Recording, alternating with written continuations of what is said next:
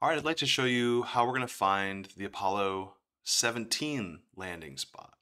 So I'm back on Google Moon and I'm still looking at these three Maria. And right now I'm going to look at the boundary between the Sea of Serenity and the Sea of Tranquility, right? And there's all these craters kind of right here, sort of in the middle. You see Mons Vitruvius. I'm going to kind of make my way in there. And as I do, you see these higher resolution images pop up.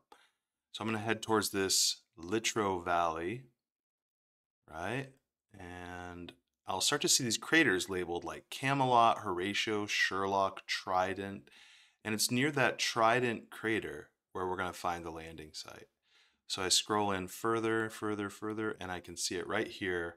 This is the Apollo 17 landing site, the last place where humans ever walked on the moon as of today. And um, there's the, again, the base of the lunar module. And again, you can see the tracks of the buggy that was driven all around the lunar surface. And it really covered a lot of ground. In fact, I think this might be the buggy right there. Um, because I, I, bet they put it off to the side when they were launching back up to avoid any, you know, interference or anything.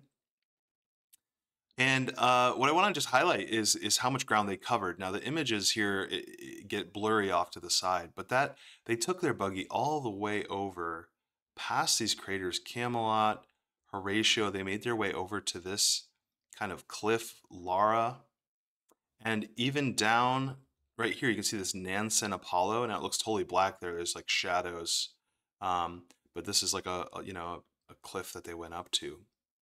But on the way back, um, they took kind of a higher path, okay? And they went past through this tortilla flat and they went past Shorty Crater. Now, because this was the first mission where there was a geologist on board, right? The geologist could notice things that the astronauts hadn't been prepared for.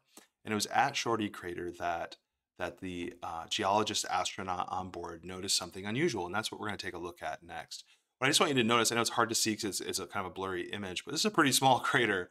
Um, you know, all things considered, Shorty Crater was just a little crater, and we're going to see a picture of the astronauts right next to it in just a second.